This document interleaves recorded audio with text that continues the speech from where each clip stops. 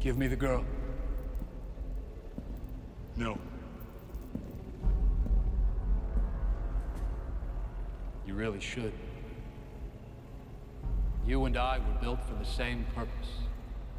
And Legion is the only future. I came from a future like that. It failed. I know she's a stranger to you. Why not just let me have her? Because we're not machines, you metal motherfucker.